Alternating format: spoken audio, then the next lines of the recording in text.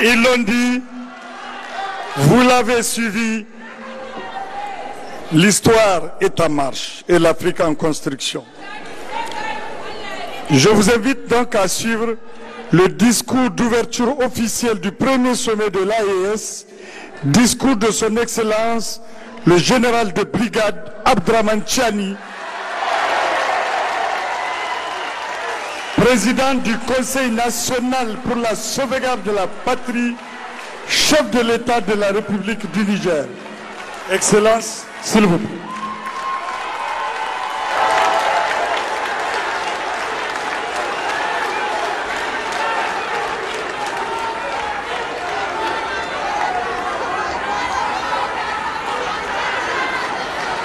أعوذ بالله من الشيطان الرجيم Bismillah Rahman Rahim.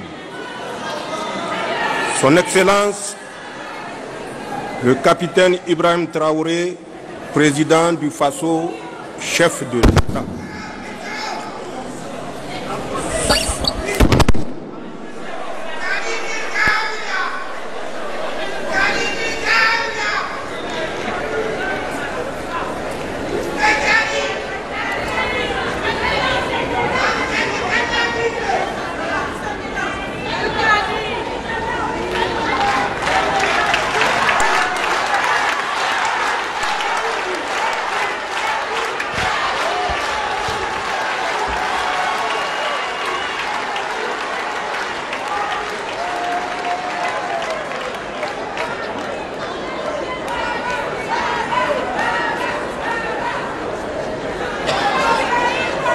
بسم الله الرحمن الرحيم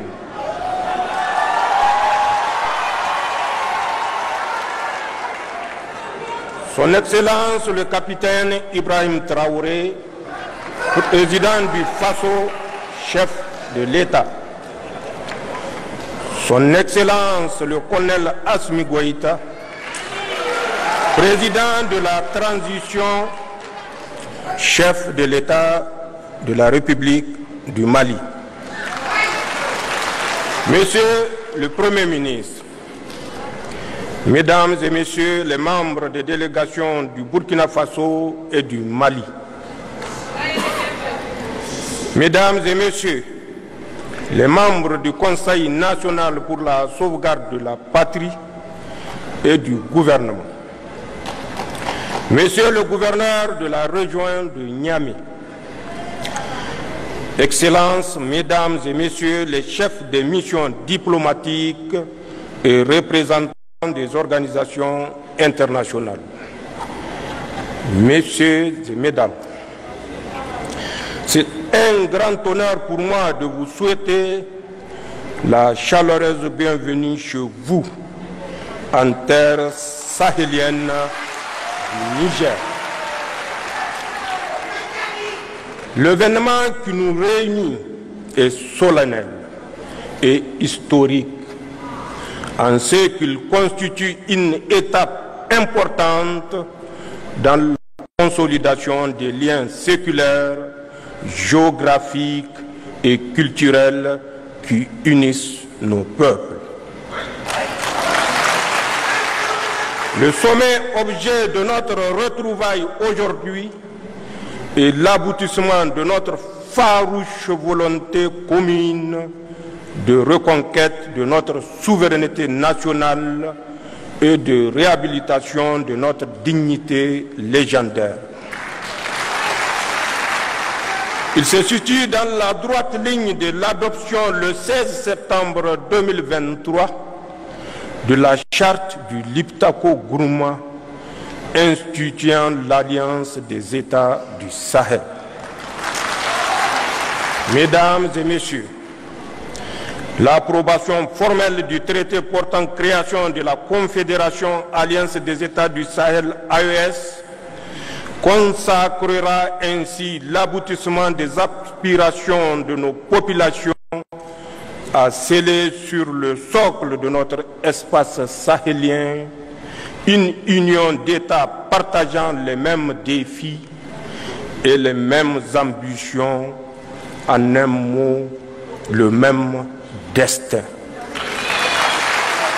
En effet, La formation de l'Alliance des États du Sahel a déjà permis d'édifier autour du Burkina Faso, du Mali et du Niger une coalition solide basée sur une architecture de défense commune et une mutualisation des moyens nourris par une solidarité fusionnelle à l'image de celles manifestées par les autorités et les peuples du Burkina et du Mali face à l'agression armée projetée par la CDAO contre le Niger.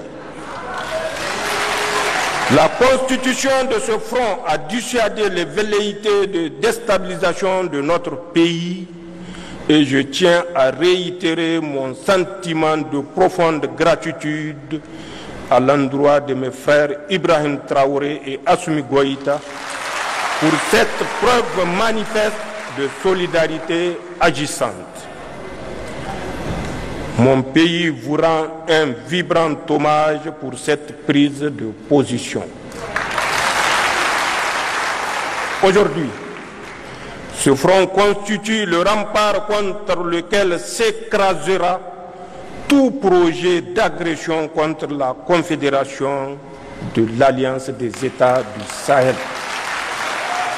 À cet égard, il me plaît de constater que le volet défense-sécurité de l'Alliance des États du Sahel connaît déjà des avancées significatives avec la mise en place de la force conjointe des États du Sahel.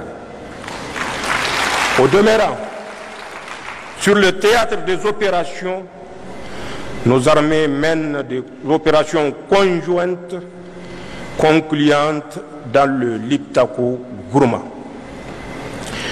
Monsieur le Président Goïta et Traoré, la Confédération Alliance des États du Sahel va s'édifier donc sur un substrat qui assure la protection des populations contre toute menace d'agression terroriste, rébellion, banditisme armé ou tout acte hostile venant de l'extérieur.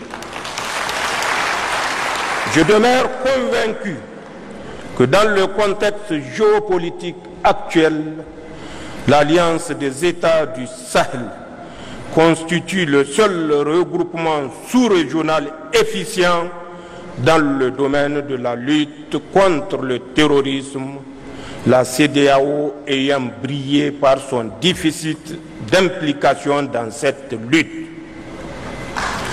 De ce fait, l'Alliance des États du Sahel seule nous permet de faire face aux menaces terroristes comme aucune autre structure régionale ou internationale ne l'a fait auparavant. Chers collègues chefs d'État, tout en consolidant cet axe stratégique, il est nécessaire dans le contexte géopolitique actuel de coordonner nos actions diplomatiques tant au plan bilatéral qu'au sein des organisations multilatérales et harmoniser nos politiques extérieures pour garantir au mieux les intérêts de notre confédération, alliance, État du Sahel dans l'arène internationale.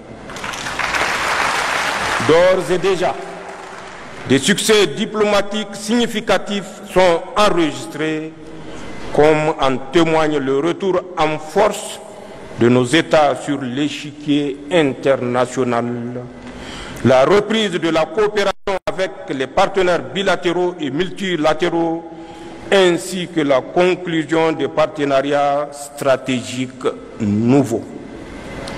Concernant l'axe développement, il est urgent de créer les conditions d'une véritable sécurité alimentaire dans les pays de l'Alliance et mettre en place le dispositif économique financier et monétaire nécessaire au financement du développement et à l'investissement productif dans l'espace des États de l'Alliance.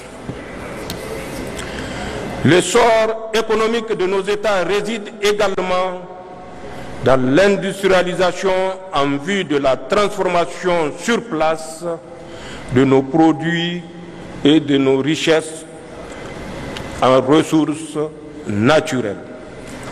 De même que la solidité de notre confédération repose sur notre capacité à édifier les infrastructures d'interconnexion, routes, compagnies aériennes, réseaux ferroviaires, ainsi que des projets structurants dans le domaine de l'agroalimentaire, des industries extractives et de l'énergie. Dans cette marche, nos populations sont en avance sur les États. En témoigne l'engouement suscité chaque jour par l'Alliance des États du Sahel auprès de nos jeunes et de nos femmes, car cet élan populaire constitue le meilleur gage de construction d'une confédération de peuples et non un édifice bureaucratique. Chers collègues chefs d'État, nos délibérations permettront assurément d'adopter l'armature juridique et institutionnelle permettant de donner corps et identité à la Confédération Alliance des États du Sahel.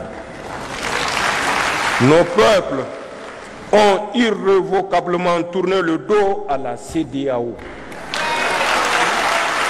Il nous appartient aujourd'hui de faire la Confédération Alliance des États du Sahel. Une alternative à tout regroupement régional factice en construisant une communauté souveraine des peuples, une communauté éloignée de la mainmise des puissances étrangères, une communauté de paix, de solidarité, de prospérité basée sur nos valeurs africaines.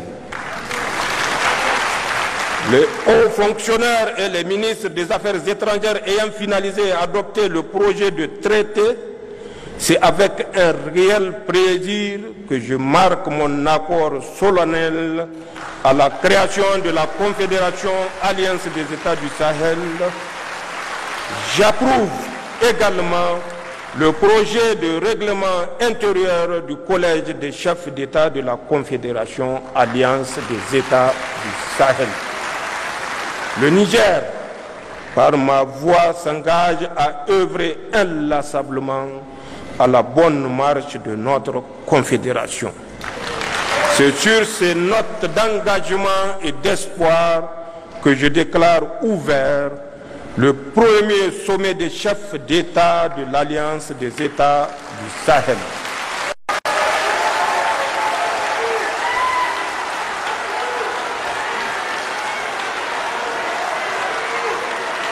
Vive l'Alliance des États du Sahel, vive l'Afrique libérée, je vous remercie.